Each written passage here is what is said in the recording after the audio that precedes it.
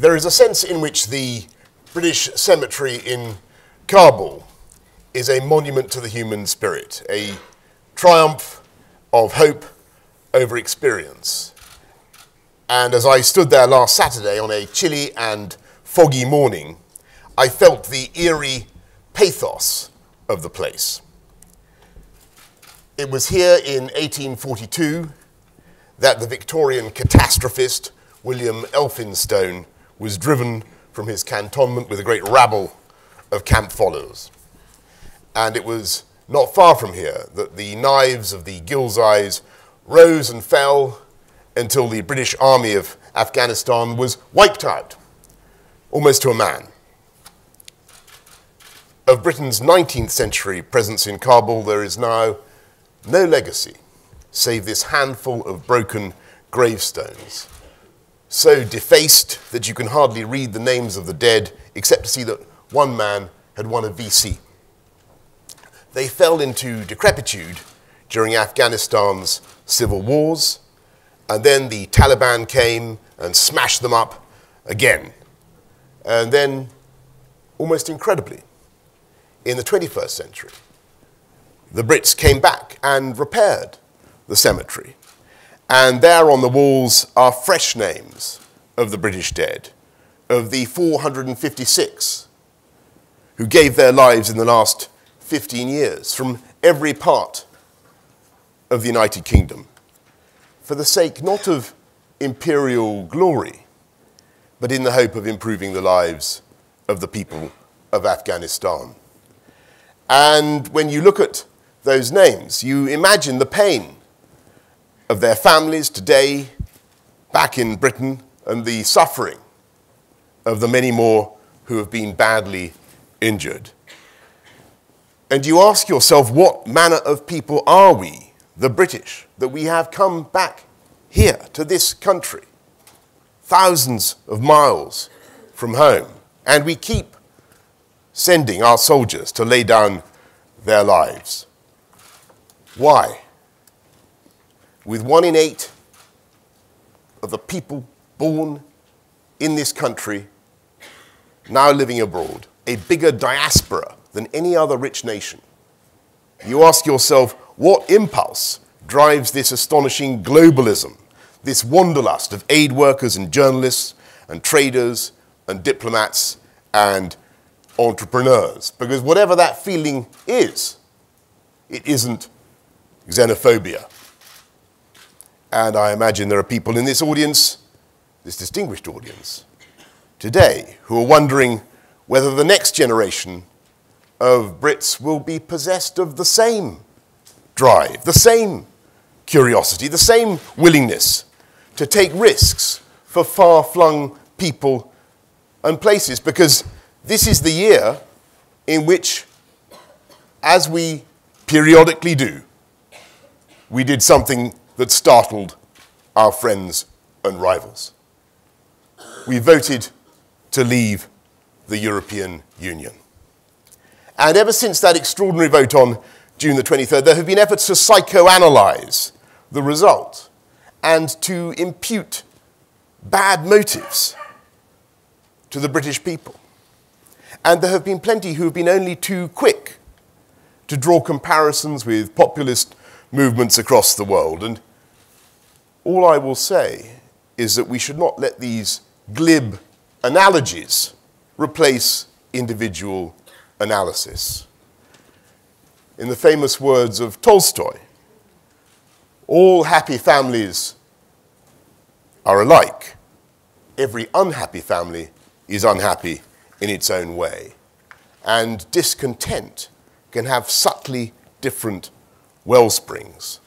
There were plenty of people who voted to leave the EU, and I count myself as one who thought on these lines, not because they disliked or feared foreigners, but because they believed in democracy. And after 43 years, because they had still not come to endorse the finalité politique of the EU. And it is my passionate belief that there is no contradiction, whatever, between a trust in the nation state as the key building block of the global order and a generous and open mindset towards the rest of the world.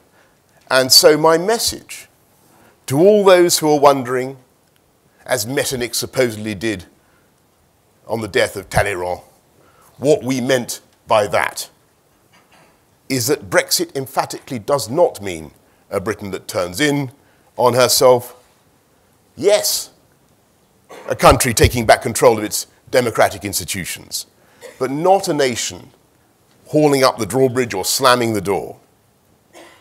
A nation that is now on its mettle, a nation that refuses to be defined by this decision. A country galvanized by new possibilities, and a country that is politically and economically and morally fated to be more outward looking and more engaged with the world than ever before.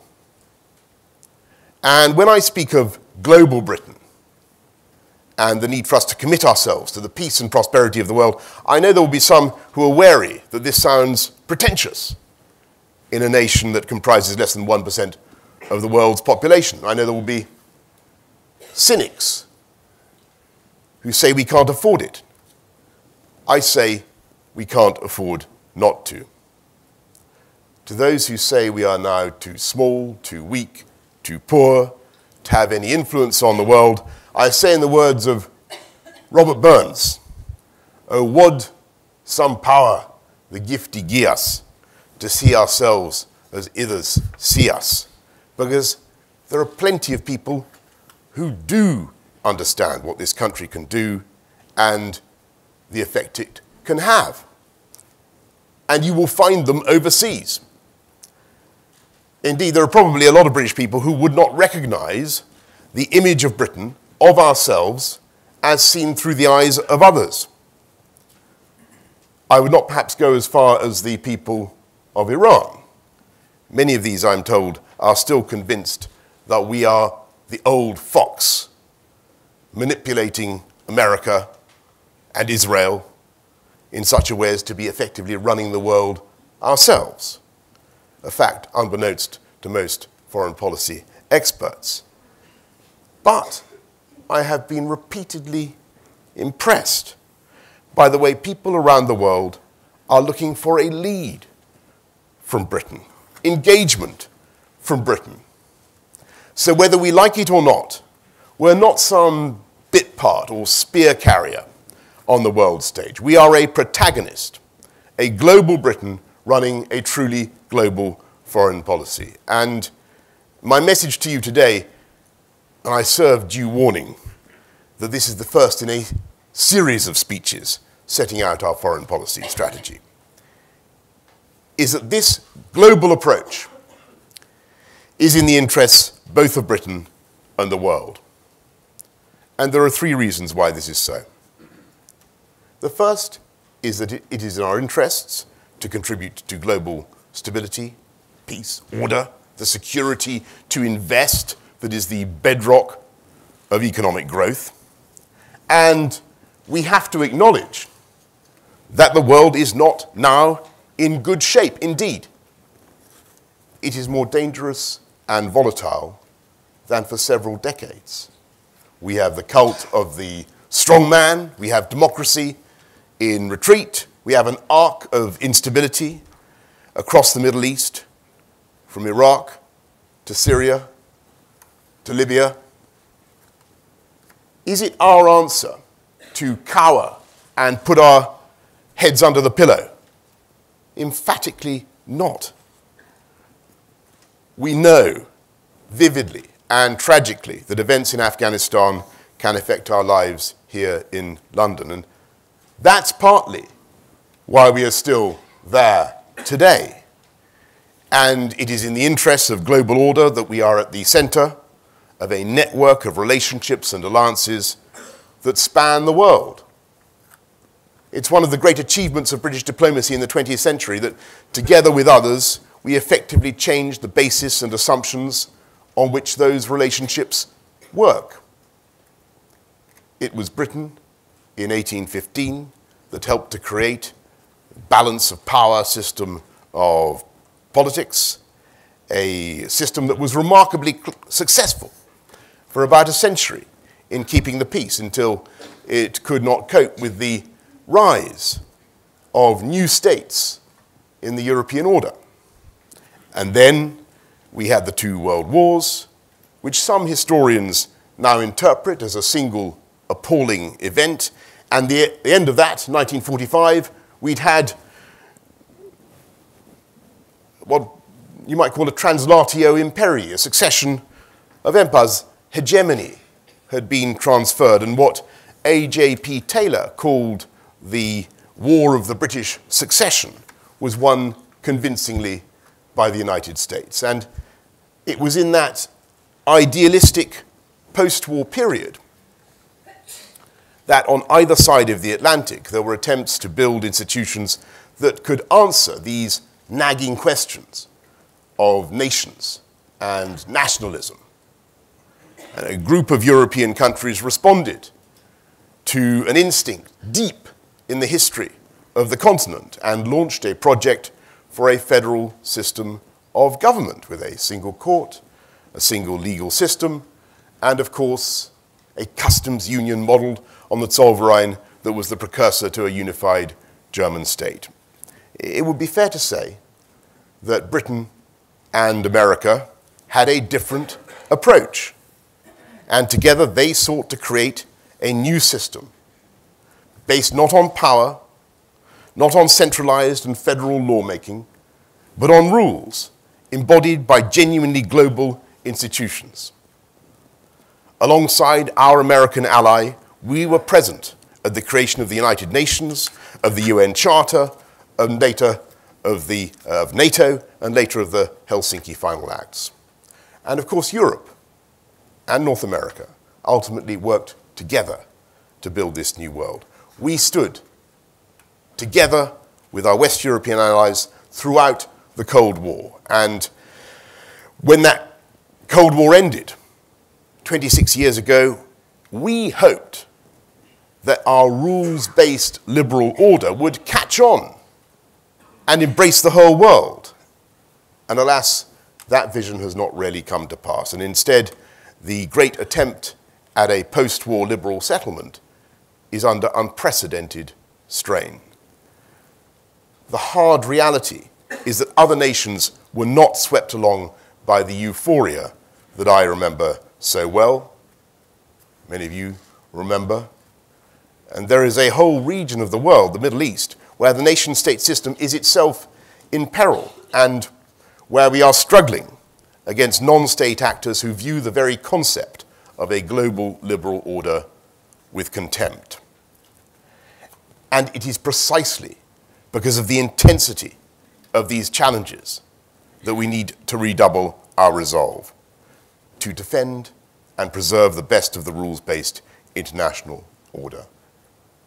If we fail, then we, we risk reverting to an older and more brutal system where the strong are free to bully or devour the weak, where might is always right and the rules and institutions we have so painstakingly built fade away into irrelevance. We cannot allow this to happen. And so it is right that we stand shoulder to shoulder with America and others in the fight against Daesh. We are the second biggest contributor to the air campaign after the US, and that's why we work ever more intensively with our Five Eyes intelligence partners the United States, Canada, Australia, and New Zealand in a network of like minded democracies that spans the globe. We work on security with our European friends, and as I, have said before, our role is to be a, a flying buttress, supportive of the EU project, but outside the main body of the church. I, as I've said before, this was mistranslated by the EU interpreters as a flying bucket. But they, they, once, they, once, they, once they got the message and they understood the metaphor, uh, they, were, they were very happy with it. And uh, now, is the, now, is the, now is the time to build a new and productive relationship based on friendship and free trade, and a new European partnership where we continue to develop our work on things that matter to all of us in Europe. We are there with our EU friends. I've just been to a conference in Rome uh, in the fight against piracy off the Horn uh, of Africa or in dealing with the migration crisis in the Mediterranean. Because we know that in keeping Britain safe, our security depends on stabilizing Europe's wider neighborhood. The southern Mediterranean, the ungoverned expanses of the Middle East, and along the eastern borders of NATO. And there we find British troops already set to deploy in our enhanced forward presence in the Baltic states. Our resolve to fulfill NATO's obligations will be unbreakable. At the heart of this institution, NATO, the most durable and successful defensive alliance in history, lies the security guarantee contained in the North Atlantic Treaty, Article 5. That an attack on any one member shall be considered an attack against them all. And in offering that guarantee, President elect Donald Trump has a point.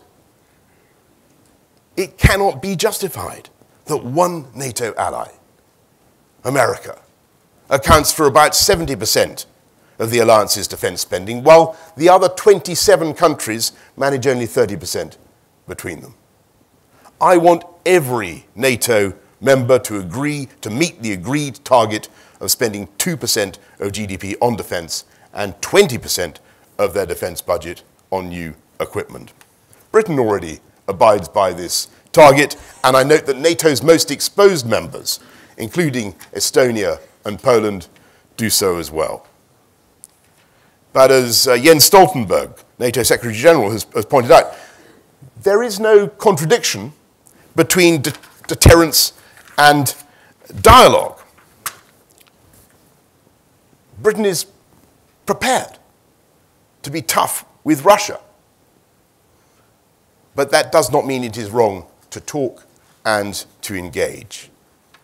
Yes, it is Britain that insists on our resolve to enforce sanctions against Russia for their occupation of Crimea and their hand in the war against eastern Ukraine. Uh, again, it's Britain that has been the firmest in denouncing Russia's part in the destruction of Aleppo. And for all those reasons, we can't normalize relations with Russia or go back to business as usual. But as I've said time and again, Russia could win the acclaim of the world by halting its bombing campaign of Syria, delivering Assad to peace talks, abiding by the letter of the Minsk agreements in Ukraine. I know that neither the Prime Minister, Theresa May, nor I will relent in our pressure or in delivering those messages face to face. But as global Britain, our range is not confined to the immediate European hinterland. As we see the rise of new powers, it is right that we should make a distinctive approach to policymaking as regards China and East Asia. Our approach must, in that region, must go beyond the quest for exports and commercial contracts, vital though they are the emerging balance of power system in Asia needs the influence of friendly countries, with our emphasis on the rules based system, in order to reduce the risk of miscalculation and unwanted confrontation. But one lesson that Britain has learned from centuries of evolutionary change in our own institutions is that you must be willing to reform a system in order to save it. We should be realistic enough to accept that the international order needs to change. That is why Britain supports enlarging permanent membership of the Security Council to other global powers, including India, and we were one of the first countries to join the Asian Infrastructure Investment Bank, which is capitalized largely by China. And then there are some great international institutions that do not so much need to reform, but simply need a new burst of energy. And that brings me to the second area where global Britain can make a huge difference. Back in that post war moment, the end of the Second World War, we not only helped to found NATO and the UN, it was J.M. Keynes who was instrumental in bringing to birth the Bretton Woods institutions, the IMF and the World Bank. And next year, we helped to found the General Agreement on Tariffs and Trade, the GATT, which I remember reporting so lovingly many years ago. Now, the WTO, that over decades has helped to break down the folly of protectionism and open markets, a benign and transformative process that is not only good for Britain, since our trade amounts to nearly 60%, 60% of our GDP, but which is good for the world, lifting billions of people out of poverty in the last 40 years. And yet, the gossamer web of obstruction is growing thicker every year, and the political support for openness in trade is draining away across the world. And for the first time in decades, trade is no longer growing as fast as global GDP, with volumes rising by only 2.8% this year compared to an average of 5% since 1990. And since it is the world's poorest who will suffer most from this atrophy, it is our historic post Brexit function, as the Prime Minister has said, to be the leading agitators for free trade. Again, confounding those who are willing to misread Brexit by seizing this moment to campaign for openness and open markets across the globe, beginning with some of those dynamic Commonwealth economies that are already queuing up to do free trade deals. And then there is the third way that Britain, global Britain, can do good for the world and for itself, and that is the, the projection of our values and our, and our priorities. And we have enormous scope to do this because we are not only the second biggest defense spender in NATO, we also have the largest overseas aid budget in Europe. In the last five months, I have seen going around the world how Priti Patel is making every pound count to change the lives of the neediest and to tackle the world's biggest and most intractable problems. Not just poverty and disease, but mass migration, exhaustion of resources, and the consequent extinction of species. And if I may be permitted to take one example that obsesses me almost as much as it obsesses uh, my father, it is the tragic fate of the African elephant. It is mankind's privilege to share the planet with these magnificent and curious creatures, these throwbacks from the Pleistocene, and it is heartbreaking to see that their numbers have shrunk from 1.2 million in the 1990s to a mere 415,000 today. That is 110,000 elephants gone since 2006 in our lifetimes. And you all look as though you're going to live a long time. Even though you all look as though you're going to live a long time.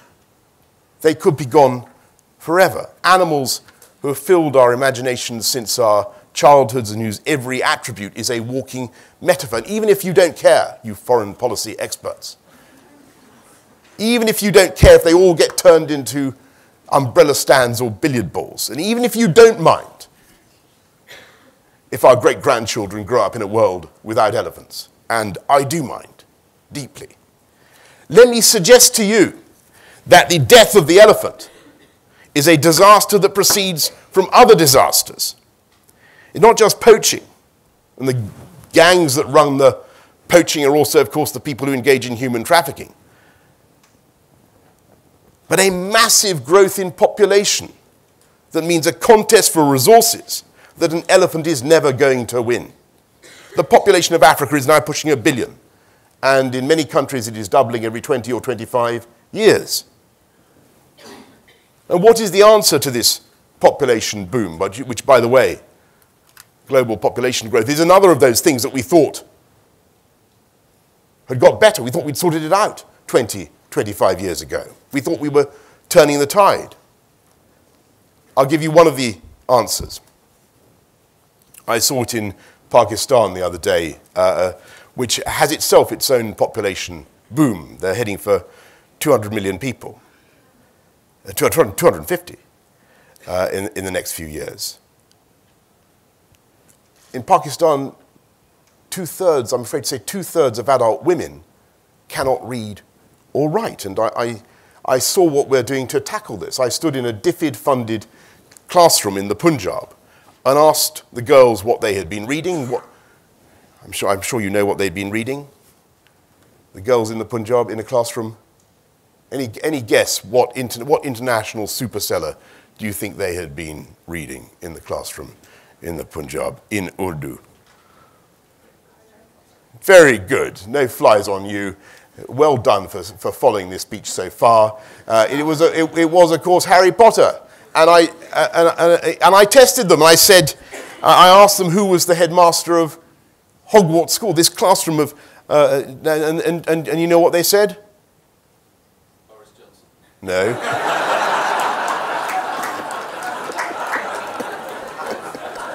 Thank you, Sam, for that. They did not.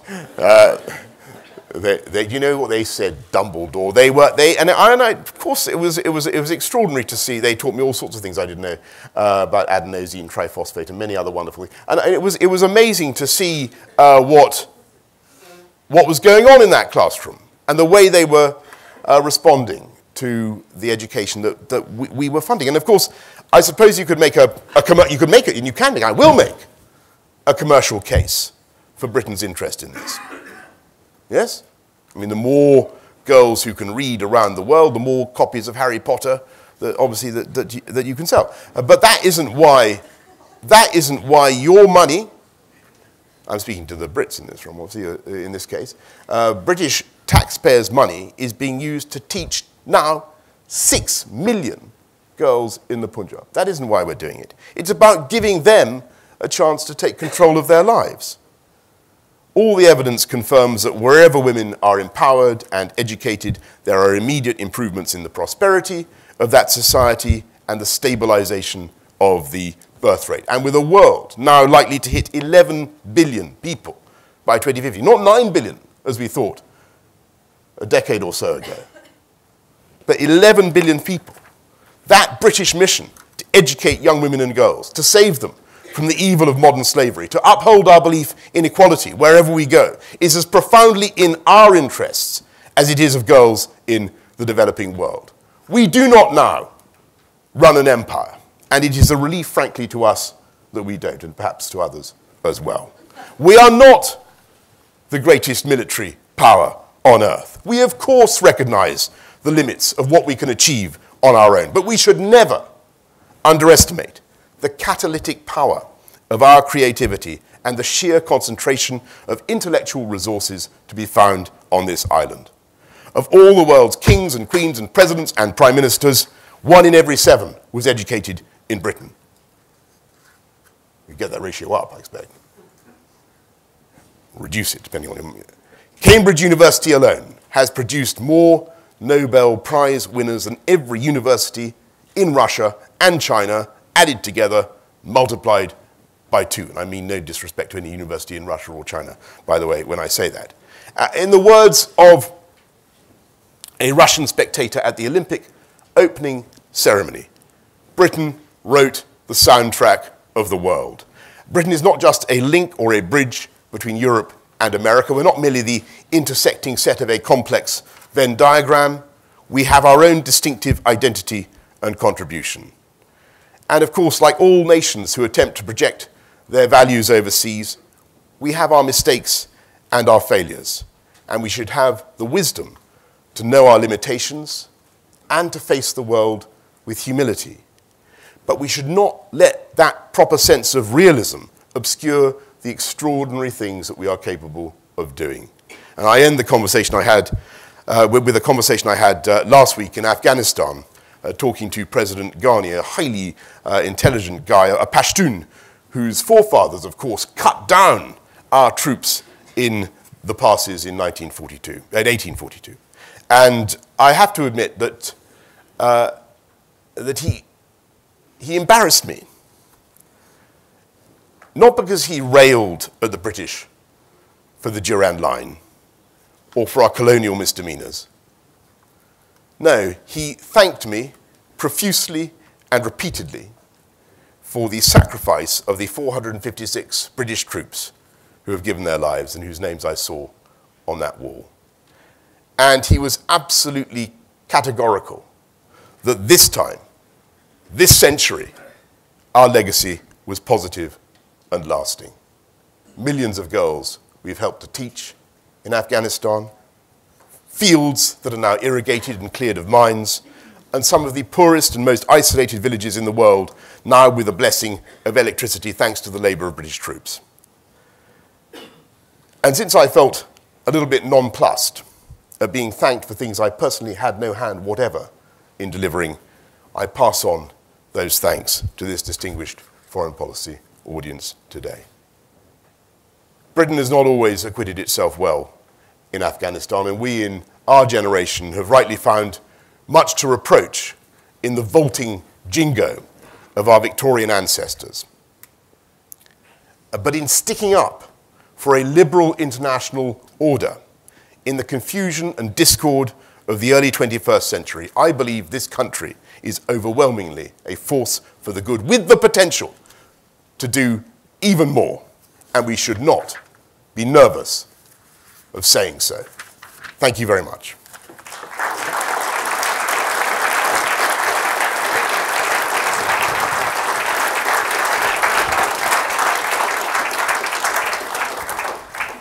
Foreign Secretary, thank you very Thank much. In your own inimitable style, to have woven both Tolstoy and elephants into foreign policy is, is unusual here, to say the least. There are roving microphones uh, walking uh, around. I'm going to sort of move my way from left to right, if I may, if you can indicate a desire to ask a question, and I would stress it's a question and to be as brief as possible uh, in the third row back. Thank you very much. And if you could identify who you are and, as I say, affiliation. Um, John Ashmore from Politics Home. Um, Boris, just on Brexit, uh, what's your attitude to the possibility that the UK could continue to pay into the EU budget for certain trade uh, concessions? Uh, you, as you will uh, know, John, we have a strict policy of not giving a running commentary on our, on our negotiations, nor will I do so this morning since I'm talking about global uh, Britain. But I, I, think you can take it that we will get the best possible deal in uh, goods and service to the benefit not just of UK uh, business, but of course of our friends and partners on the other side of the channel. Lewis, uh, Chatham House. Foreign Secretary, you touched on the United Nations. We have a permanent seat on the UN Security Council. And in now leaving the European Union, of course, there'll be no more talk of a single European seat between us and France. So, how will we lever this if you like, newfound power that we might have, this new role in the United Nations? Well, uh, the, the UN, I believe, is a, is a, is a body that has uh, served the world well, but is, in, is in, in also could do, frankly, with a new surge of energy, as I, as I described. And we intend to be very active and very conspicuous in, in the UN and to be using uh, the UN Security Council to try to uh, deliver the results that we want to see. And as I've, uh, you, have seen, you've seen a lot of work by uh, Matthew Rycroft and our team in, in, in New York in the last few uh, weeks and months on, on, uh, on Syria, uh, on aviation security, on many other subjects where Britain is, is leading the world. And, and we, will, we see the UN as a, as a great forum uh, for global Britain to do that. I've, I've mentioned our proposals to reform the Security Council. They don't yet command universal support, but there they are. Thank you. So. Thank you, Mr. Secretary. Uh, what unique Sorry, could you introduce? I'm sorry, Robert Gardner, Chatham House. What unique characteristics do you bring to your new job, and which foreign secretary do you admire the most, and why? well, I, I, I, I, hesitate to say what unique characteristics. I'm, I'm, i just, I, I remembered this morning as I walked in here that my grandfather used to work at Chatham House. How about that?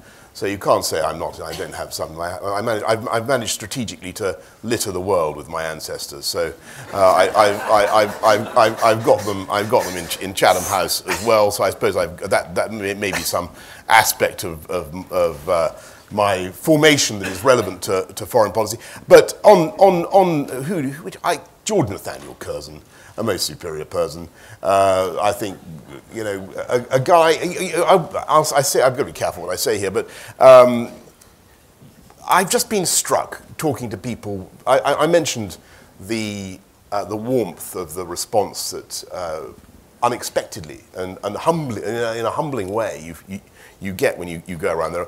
People genuinely remember when Britain has done something good as well as when we did something terrible. And, and a, a lot of previous British foreign secretaries have done some, some great things. Thank you. There's a hand at the back there. Curzon is the answer. George Nathaniel. My cheeks are pink, my hair is sleek. I dine at Blenheim twice a week. Was the, was the, was the conclusion of the, uh, of the rhyme, I think. no, I don't. That was him.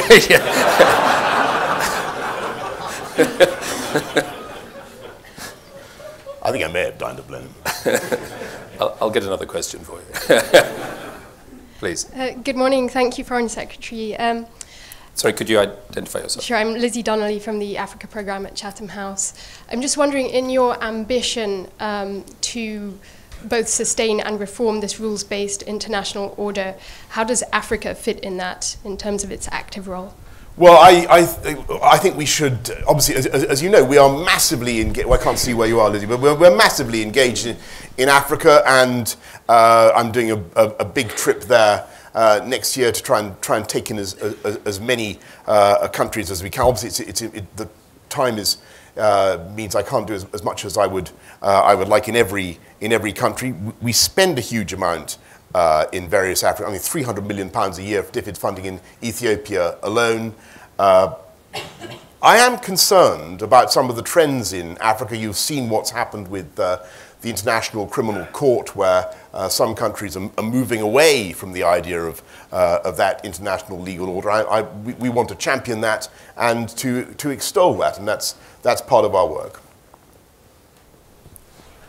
Thank you. Gentleman right at the back there just to the right of centre.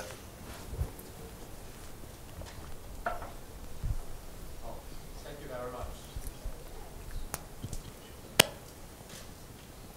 Uh, from, from Embassy of Japan. Hello, sir. Could you tell us more about your foreign policy toward Asia? Thank you.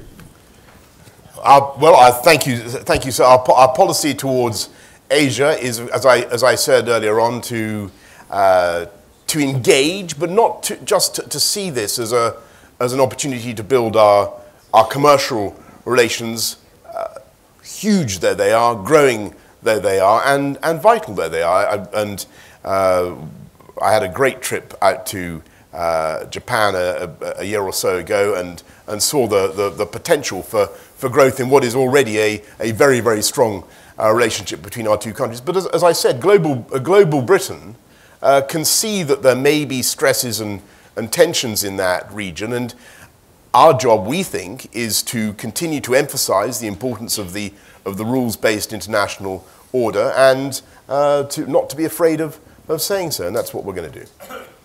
Thank you. So about three rows further and then in. To the lady there, hand up.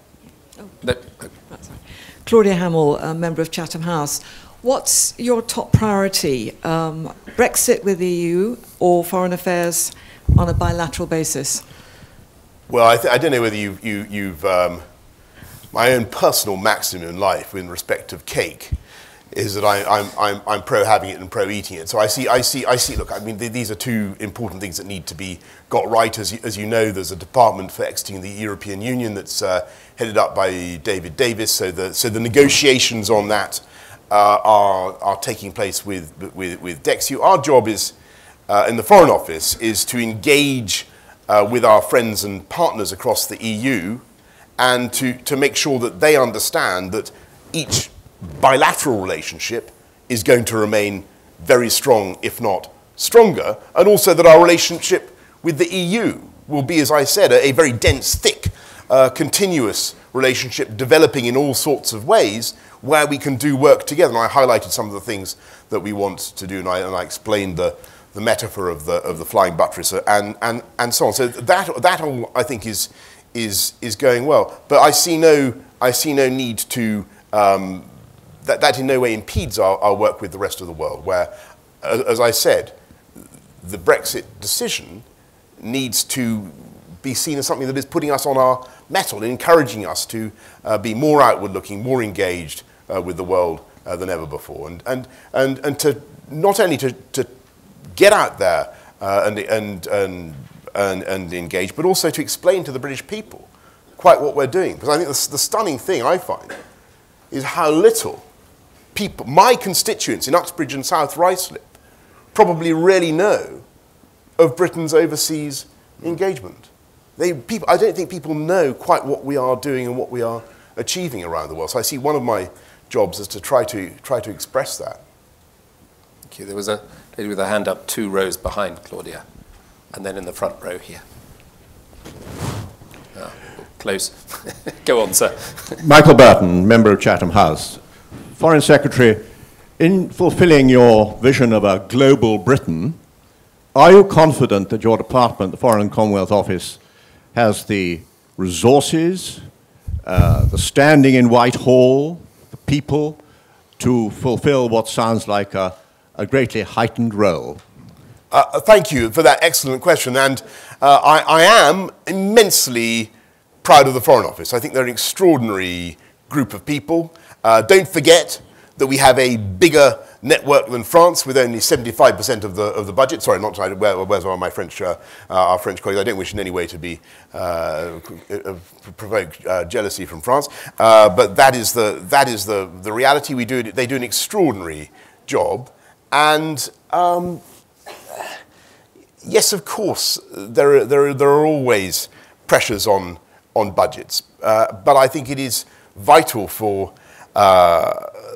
our central government to understand the, what I've tried to explain in, the, in, in my speech, the benefits to us in the UK from stability, from commercial potential, of, from expressing our values overseas, as a, a, of engagement. And it, it repays its investment many, many times over to have a, a strong an outward-looking policy towards the world, and that's what we're going to have. And I, I'm, I'm fortified uh, in my conviction that all will be well because the current Chancellor used to do my job, and I'm, I'm sure he will see things that way. exactly. Please. Uh, hello, Trisha de Borgrave. I'm a writer. Thank you for coming Thank today. Um, what is better for Britain? A strong EU, an EU that's going to disintegrate, what is better for Britain? No, we must be very. I, am sorry if I didn't make that that clear in my in my speech. We want a strong EU, and we want a strong relationship between a strong UK and a strong EU. It is no part of our agenda to seek to undermine or to be dog in the mangerish about the about the EU. Now, if, if and there's a conversation going on now about the EU's desire to build a common security and uh, defence policy, new architecture for that. You know, if they want to do that, fine. Obviously, they should also spend 2% of their GDP on, on defense. It might be the first thing to, to, to, to, get right. But we are not there to block or to impede further steps towards uh, EU integration if that is what they so desire. Uh, we are there to support and to build a strong, thick uh, relationship. Thank you. Gentleman with the microphone. Uh, Foreign Secretary Phil Chambers, member of Chatham House. Um, you speak of Britain being more engaged with the world, yet you've also referred to an era of the cult of the strongman. I think particularly to, to Russia, uh, an allusion to Russia in this regard. How do you envisage Britain being able to engage uh, in, in this uh, current and uh, current world order, where I think, um, as you say, there is a significant challenge to the. Where is um, Phil? That there? Sorry. Yeah where there's significant challenge um, to the liberal order that has been established for the last 50 years, and how do you envisage Britain being able to engage with such actors, uh, particularly Russia, going forward? I think you've got to be strong, and you've got to be firm, and I think the, the uh, people will push and push and push until they meet a pushback, and so uh, when it comes to, to sanctions or uh, or whatever. You've, you've, got to, you've, got to, you've got to remain absolutely solid in what you're, in what you're doing, and you've got to, you've got to stick up for what, you're, what you believe in, not be, not be afraid to, to say so. Gentleman in the middle then we'll go across to the right. Bijan Ruhi, uh, Foreign Secretary, thank you. Uh, what role do you think global Britain can play in reconciling the relationship between the United States and Iran? Where's Bijan? I'm here. Bijan, thank you.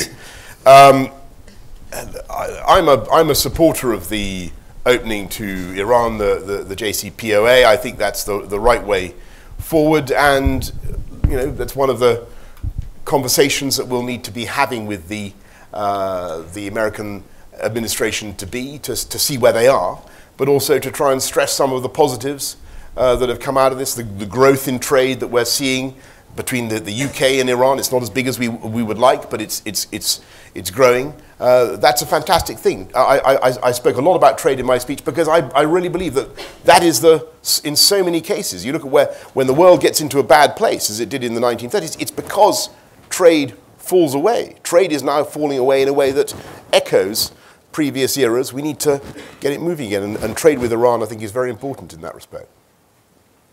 There's a lady in the front row, if you could. Thank you. Good morning, uh, Foreign Secretary. Bénédicte Paviot, France 24. You talked about finalité politique. Oui. Oui, effectivement. Um, do you personnellement, do you personally support freedom of movement? Ah oui. Are you taking one position in private and a directly contradictory stance in public? Mais non. Uh, I, Are you je sure? Reste, je reste uh, absolument fidèle sur. Uh, I, have always, I've always been uh, clear in my, in my, in my views. In fact, I, a couple of EU ambassadors have been nice enough, the, since this uh, story uh, emerged, to, to get in touch with me and say that they remember me saying exactly what I say I've said, which is that uh, I, I, look, I'm, I'm, I'm, I'm, a, I'm, a, I'm a liberal internationalist. I believe, in, I believe that immigration can do great things. And I've, I've supported, when I was mayor of this fantastic city, I saw the strength and dynamism that immigration gave to, uh, helped to give to, to the London economy. Uh, but what I also said at that breakfast, and, uh, and I, th I, think I see some veterans of that occasion uh, here. Uh, maybe I did. Maybe, they, maybe, they've, maybe they've decided to give it a miss. I do see some veterans. I see some veterans of that occasion. They will recall that what I said was, uh, important though EU migration had been, we had to have control. I hear them say exactly, and I'm delighted. and I, I, therefore, I thereby declare that ludicrous story convincingly refuted, and, uh, and, I, and I, hope we, I hope we can therefore move on. Uh, can I give it to my colleague? Why, yes, why not? Of course. To Rageh. Uh, Rageh Omaar Rageh. from ITV News. Uh, Boris, uh, I'd like to ask about Syria. Uh, do you think the facts on the ground still make our position uh, that there can be no future uh, without President Bashar al Assad. Is that still a realistic position given the facts on the ground? And secondly, just your comment about the uh, Richmond by election, whether it, you think it's a vote against a hard Brexit or not. Uh, first of all, on, on Richmond, all I really want to say on, on Zach Goldsmith as a, a, great friend of mine, I just want to say how sad I am that Zach is, is no longer going to be in the House of Commons. I think he made a remarkable contribution to uh, in, in, his time there and uh, fought a uh, was heroic and principled in standing up for what he believed in on Heathrow expansion, and uh, he will be missed, but he will be he will certainly be back. Uh, on on Syria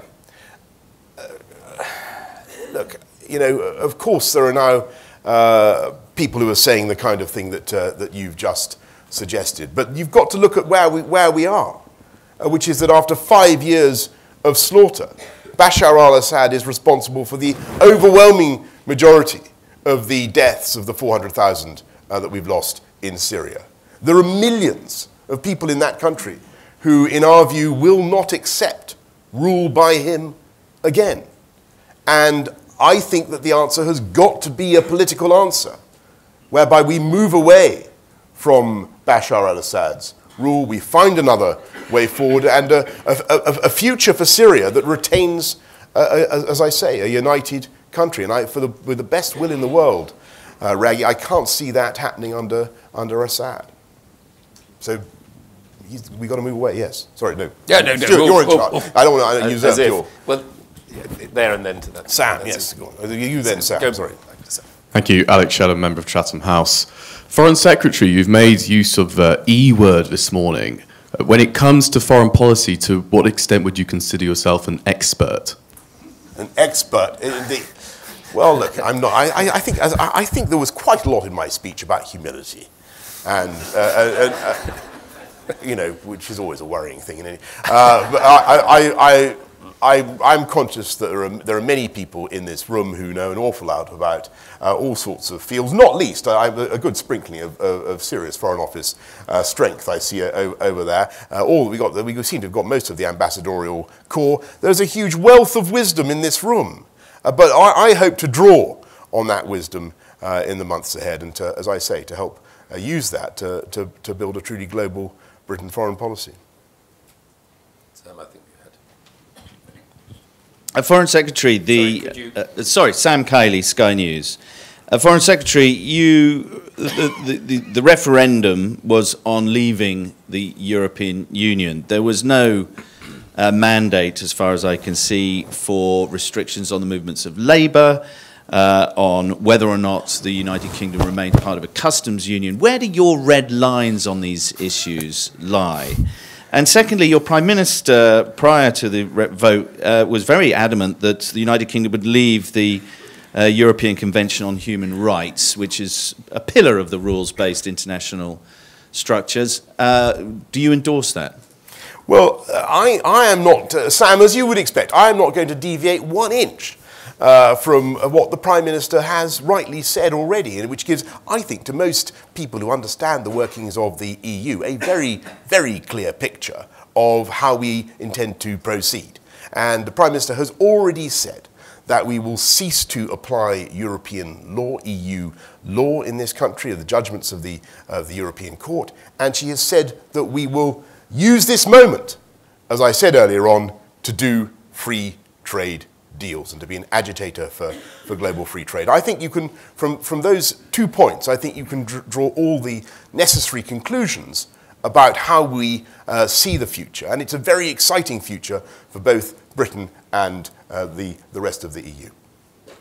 What about the question of the European Convention on Human Rights? A pillar of the international legal order. Well, the, the, on, that, uh, on that matter, the government's policy is, as I love saying, the government's policy is unchanged.